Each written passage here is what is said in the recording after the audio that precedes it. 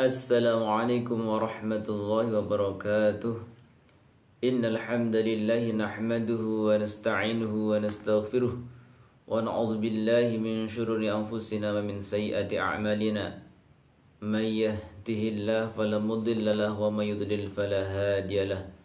أشهد أن لا إله إلا الله وحده لا شريك له وأشهد أن سيدنا محمدا عبده ورسوله لا نبي بعده.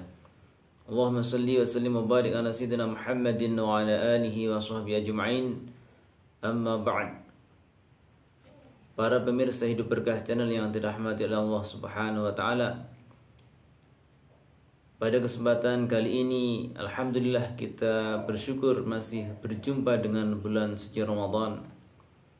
Kalau kemudian kita lihat, kita dengar, kita saksikan khususnya dalam bulan suci Ramadan ini berbagai tempat ibadah masjid musola begitu luar biasa gegap gempita di dalam rangka mengisi meng me memanfaatkan mengoptimalkan berbagai aktivitas amal ibadah khususnya di dalam bulan Ramadan ini tentu masjid ini tidak hanya berfungsi sebagai tempat atau aktivitas ibadah ritual saja betul bahwa dilaksanakannya sholat berjamaah lima waktu itu adalah anjurannya di masjid.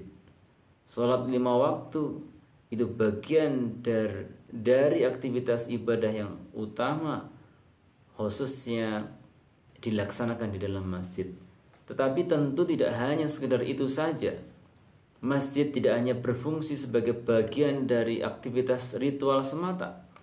Misalnya kalau kita lihat di masa Rasulullah Sallallahu Alaihi Wasallam, Rasulullah melakukan aktivitas Ya